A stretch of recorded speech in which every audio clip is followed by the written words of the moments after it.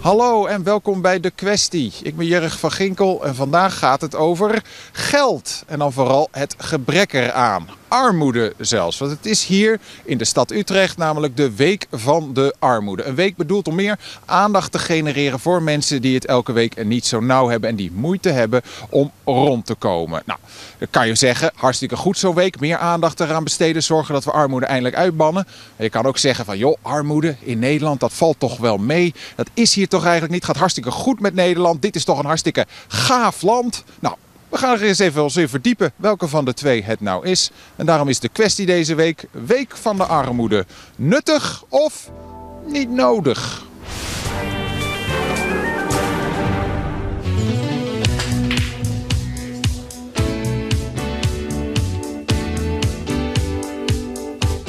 Hallo, Jurgen Ginkel. Marimos. Hallo, aangenaam van de Armoedecoalitie. De organisatoren van eh, de Week van de Armoede, als ik het goed zeg. Nou denk ik dat we allemaal wel een beeld hebben bij armoede. Hè? Maar uh, wat is nou precies de definitie? Wat is, waar werken jullie mee? Nou, wij uh, werken ermee dat mensen die in armoede leven zijn voor ons mensen die niet kunnen rondkomen per maand. Mm -hmm. En dus te weinig geld hebben om of in hun dagelijkse levensbehoeften te voorzien. Ja. Of dat ze te weinig geld hebben om te kunnen meedoen aan de samenleving. Meedoen aan de samenleving, dat is dan, waar moet ik dan aan denken? Nou, dat betekent dat je je huis uitkomt, dat je kan, uh, naar een, uh, mee kan doen met activiteiten. Voor kinderen betekent het dat je naar een sportclub gaat. Of dat als je op schoolreisje gaat, dat uh, je gewoon mee kunt. Dat je erbij kan horen. En als je kijkt naar jongeren die 18 worden, dan is voor hun, zij moeten dan hun zorgtoeslag zelf, ze moeten hun zorgverzekering zelf gaan betalen. Waardoor jongeren rustig in grotere schulden kunnen belanden. Dus de zorgverzekering, dat je daar een achterstand in hebt in betaling, is een van de grootste problemen onder jongeren. En dat proberen we dus ook in deze week meer onder de aandacht te brengen. Van dat jongeren ook op scholen daar veel meer aandacht voor komt. Is afkomst nog belangrijk? Of je, ik heb... van een andere culturele afkomst bent. Ja, ik denk dat de, de, mensen met een migrantenachtergrond wel oververtegenwoordigd zijn in de groep mensen die, die in armoede leeft. Bijvoorbeeld in Overvecht kan je dat ook heel goed zien. In Overvecht is ook 1 op uh, 20% van de mensen in Overvecht uh, leeft in armoede. Dat is heel erg veel. -hmm. En daar zie je ook dat daar heel veel uh, mensen met een migrantenachtergrond tussen zitten. Ja. En uh, in Utrecht is uh, gebleken door onderzoek dat gezinnen met uh, kinderen boven de 12 jaar dat die 250 euro per maand tekort komen. Dat heeft ermee te maken dat de uitkering te laag is. Ja. En het heeft ermee te maken dat het kindgebonden budget te laag is. Dus zeg maar de toeslagen die je krijgt voor als je kinderen hebt. Ja. En daar zou echt wat aan moeten veranderen. En het is ook vaak zo dat mensen de weg niet weten. Of dat alle regelingen die er zijn, dat die onvoldoende bekend zijn. Wat zijn een paar van die regelingen? Waar moet ik aan denken? Een paar van die regelingen zijn dat uh, elk kind lid kan worden van een sportclub tot 18 jaar. Dat uh, uh, kinderen kunnen een computer aanschaffen als ze naar de middelbare school gaan. En daar uh, zijn we dus ook uh, met heel veel partijen in de stad en ook met de gemeente mee aan de slag om te kijken van hoe zorg je nou dat mensen gebruik weten te maken van alle regelingen die er zijn. Ja, nou uh, ben ik zelf ook wel natuurlijk erg benieuwd of ik wat de kansen zijn voor mij, waar het fout kan gaan bij mij. nou ben ik, heb, dus heb ik even mijn budget meegenomen. Ik dacht misschien kunnen we er even, je bent expert, kun je even kijken wat nou de, de grote valkuilen zijn hier. Dus dit, we hebben hier zo'n beetje de, nou hier zijn de inkomsten. En hier is een beetje, nou hypotheek 6,50, gas, water, licht 100 euro verzekeringen 60, telefoon 35, et cetera. Um, als ik nou morgen mijn werk verlies, krijg ik een uitkering. Dat is gratis geld. Dus dat is mooi, toch? Ja, maar je moet eerst vier weken solliciteren. Oh, dat is, dat is, niet, dat is niet zo mooi. En trouwens, je krijgt eerst een WW-uitkering, uh, neem ik aan. Nee, ik ben ZZP'er. Dat, is ook het, uh, dat houdt meteen op. Oh, ja. Nou, dan, uh, dan zul je dus uh, uh, moeten zorgen dat je direct je patroon zo aanpast dat je gewoon ja, de tering naar de nering zet. Dus op het moment dat jij geen inkomsten meer krijgt en terug gaat naar een uitkering, dan ga jij een val maken van, van denk ik wel zo 700 euro. En daarom moet je dus ook dan heel secuur kijken van hé, hey, hoe ga ik dat eigenlijk doen? En het spaart niet. Hè? Ja, dat, nou ja, vanaf nu wel dus. Dat gaat, dit is dag 1. Dat gaat nu in.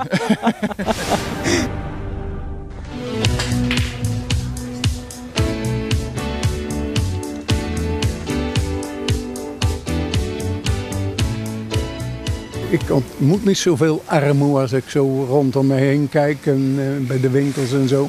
Maar ja, misschien doe ik het verkeerd hoor. Denk ik verkeerd. Nee, u doet het helemaal goed volgens mij als u niet... Goed, nee, maar ik, ik, ik, ik, ik, ken, er, ik ken er eigenlijk niks mee met die, met die. En ze zal er ongetwijfeld zijn, hmm. maar die eh, creëren ze ook veel zelf. Oké, hoe, hoe, bedoelt u dat? Nou ja, als ik om me heen kijk en, en, en, dan in de winkel, dus dan, dan zitten er altijd dan wel een paar flesjes drank bij en, eh, en luxe dingen. Dat ik denk, nou, dat, die valt daar ook wel mee. Ik eh, leef zelf ook van een pensioentje. En, zeg maar, eh, en ik leef zelf met een vrouw. Nou, je moet gewoon uitkijken wat je koopt tegenwoordig. En zeg maar, als je er echt een keertje wilt, nou, van ik wil een carbonade of een rollade. Nou, dat zit er niet meer in. Ik heb een gewone AOW en ik heb een klein pensioentje. Ja. Ik ben alleen, ik woon alleen. Ja. Ik doe alles zelf. Ken ik eigenlijk niet, want ik ben voor de helft toch verlamd. Het is dat ik de scooter heb. Anders kan ik geen eens mijn boodschappen doen. Ik kan wel hulp krijgen. Ja. Maar er wordt niet bij gezegd wat je dan allemaal moet betalen. Mijn eigen, mijn eigen bijdrage. Hè. Toen mijn vrouw overleed. Mijn vrouw gebruikte Presnison, dat moet je zelf betalen. Dat betalen ze van het Zilveren Kruis niet Die zonmedicijn, ja. kreeg ik een rekening thuis van mijn eigen bijdrage, van mijn vrouw de eigen bijdrage, plus van de Presnison. Ik moest 1500 euro eventjes zo even neertellen. hè. En dat was er eigenlijk niet. Ik had het wel. Maar toen was het ook op, alles, neem ik aan, zo weet je. Dat moet ik zeggen. Ik, eh, laat ik zeggen, voor mezelf heb ik het niet slecht. Want ik had een vrouw, wat ik nooit geweten heb, die had heel goed gespaard. Ja. Die heeft me eigenlijk verzorgd achtergelaten. Ja. Ja, Als ze, als dat, ze- maar als ze dat dus niet had gedaan, dankzij, want dan... dan had ik het heel slecht gehad.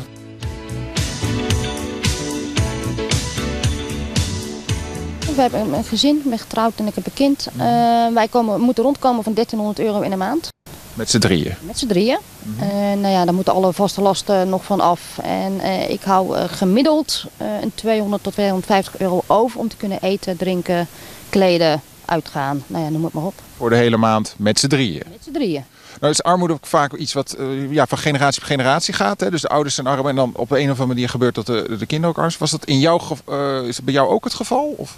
Eh, nou, we hebben vroeger vanaf mijn vierde jaar eh, is mijn vader ziek thuis komen te zitten. Waardoor wij inderdaad een inkomstengrens, ja eigenlijk de armoede begonnen te kennen.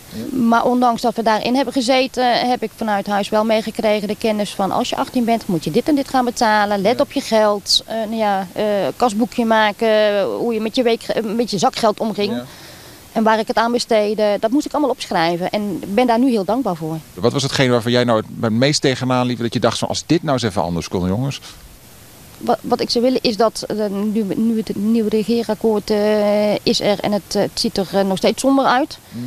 Iedereen, ze roepen allemaal je gaat erop vooruit. Maar als je heel goed kijkt, de zorgtoeslag wordt minder, de huurtoeslag wordt langzaamaan afgebouwd. Ja jongens, eh, dan kan mijn loon wel met 1% omhoog gaan. Maar als ik 5% moet inleveren, BTW ook nog omhoog. dan verlies ik nog 4%. Heb je, heb je al zakgeld? 5 euro per week, maar alleen, ja, we hebben niet echt veel geld meer. Of tenminste mijn oma. Zij krijgt overal gratis geld. Dus ja, Het gaat over gratis geld. ja. Dan moet je even met je oma gaan praten hoe ze dat eh, regelt. Maar dus, ja, we worden later... Nou, mijn ouders gaan later kittens verkopen en voor één nest krijg ik 100 euro. En Oh. ook voor mijn verjaardag, want die wordt later gevierd. Maar eigenlijk is het al gebeurd. Oké. Dus dat is even jouw, jouw verdienmodel voor de toekomst is katten verkopen en gewoon jarig worden. Ja. En ik zeg mijn geld door tienen te halen. Door tienen te halen. Als, elke keer als ik een tien krijg, krijg ik 2,50. Nou, vertrouwen hoor, dat houdt ook op op een gegeven moment. Ja. Ja, eigenlijk eh, leren ze hier om te sparen. En dat moet ik eigenlijk ook doen, maar dat doe ik Is niet. je wel geleerd, maar nu nog het uitvoeren. Ja, nu moet ik het nog doen, maar ik heb nu nog inkomen en ik hoop dat het zo blijft. Ik ben er ook echt mee bezig om dat eh, gewoon stromend te laten blijven. Ik ken wel iemand, die liep ook bij de voedselbank. Maar ja, ik snap dat dan niet. Diegene heeft dan wel een auto, dan moet je auto opeten, of niet? Ja, niet letterlijk, maar inderdaad eh, Tuurlijk. Ja, even aanbakken de Mazda. ik dan niet. Ik zit zelf in de schuldhulp, dus, eh, dus ja, dus, eh, dus ja, dan, dan eh, krijg je ook een niks verdrag in de week. En daarmee moet je doen gewoon. Ja. En ja, je merkt ook gewoon dat veel mensen om je heen ook, je hoort genoeg dat armoede is.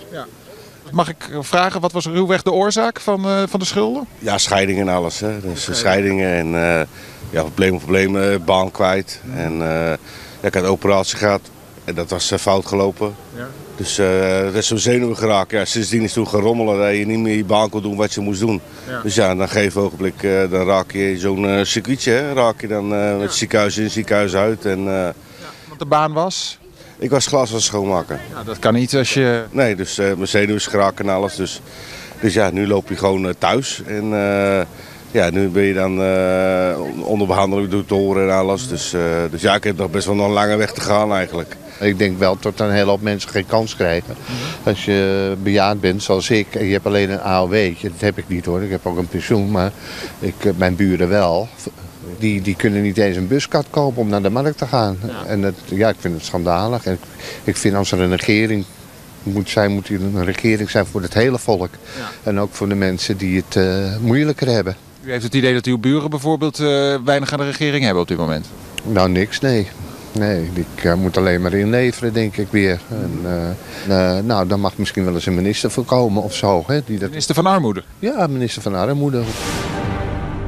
We hebben hier mensen gesproken die zeggen van joh, eh, ik zie helemaal geen armoede. Volgens mij valt het allemaal wel mee. En letterlijk 15 meter verderop loop je iemand tegen het lijf die zegt van ja, ik heb, ben best wel veel geld kwijt aan medicijnen. Ik moet sparen om met de kerst nog geld over te houden voor een carbonaatje. Dus dat zijn twee werelden die helemaal langs elkaar heen lopen. Hier op 50 vierkante meter in Overvecht. Dus wat dat betreft is het misschien geen slecht idee om één keer in het jaar even een weekje stil te staan bij mensen die het wat minder goed hebben.